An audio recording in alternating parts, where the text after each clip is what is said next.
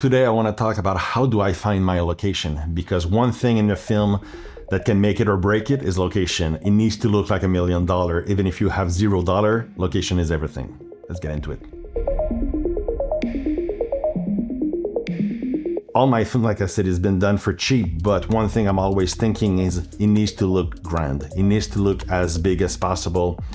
For example, in April Skies, I shot at the Louvre in Paris, you know, it didn't cost me nothing. I just asked permission and I said it's just gonna be me, my sound person, one actor. I just want to do a monologue there.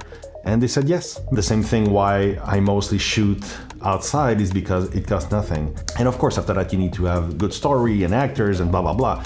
Sometimes it looks big and it looks maybe intimidating for people. They're gonna think, there's no way I can shoot. The same thing I, I did a film, uh, Runaway, where I shot in the Nobel Prize place. We shot in front of Mont Saint-Michel in France. All those hippic location yeah, of course, you know, if you had a crew of 20 people, it's different. For me, the way I shoot and everything that I'm saying is only for my style.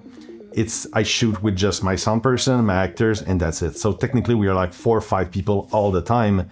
So we're so discreet, it looks almost like we're just tourists. So that's why sometimes you don't need to ask permission because you're so small, they don't believe you're making a feature film. Find the most amazing location that's gonna change, transform your vision, transform the film, give it a voice.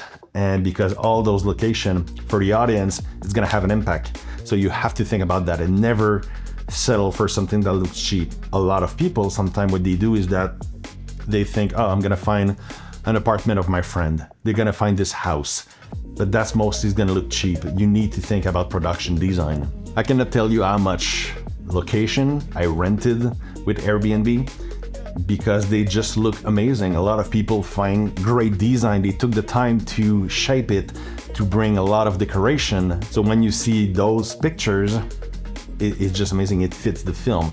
So of course, sometimes you have to pay. You need some kind of budget, but most of it, seriously, maybe 70 percent of the the time, I don't pay. You just ask, and if you're polite, you're honest, you're transparent, and you show your work. That's why I'm always trying to update my demo reel, just to show, hey, this is the quality of the film. This is how I'm gonna show your place.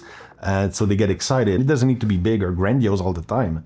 It just needs to make sure that it has a production design behind it, that it looks decorated. The fact that I always shoot around the world, it's hard for me. I cannot have the luxury to just go and uh, see those locations in person. I, I, just can't. So you have to trust your instinct and you have to trust what you see on picture because it happens all the time that sometimes you find Airbnbs or any kind of location that looks really beautiful in picture and when you arrive, oh my god, it's so small, it's so different. Or they changed the design completely. Oh yeah, that was picture from last year, but they forgot to tell you that everything changed. So it happened. You know, for example, the film The Art of Telling Lies, I rented a beautiful uh, castle in Germany and on picture it looks amazing, but when we arrived, it changed completely. The walls were pink, some walls were yellow, it was just all over the place. So instead of freaking out, I did freak out, but instead of just, oh my god, what do I do? Then you adjust. So I've changed the script to make it fit with those pictures for those location. And again, it goes to the point, don't lock yourself to the script, you know, put it, it's just a blueprint. Things gonna change, things gonna evolve. I trust myself. I know how to analyze those pictures and I know how, if something goes wrong, how to adapt, how can I change? And Google is one of the best places to just get a perfect idea of what you're gonna get location is supposed to inspire you, it's supposed to bring you ideas. You need to save time to shoot more. If you just stick to what you see to the script and get out, I think you're missing something that can bring your creativity. And that's the whole point you're making a film. And I want to shoot new things. I want to have ideas. And the actor love that sometimes. They say, hey, cool, let's do this, this, this and they get excited because it's it's almost like it's fresh, it's new, it's almost like improvisation.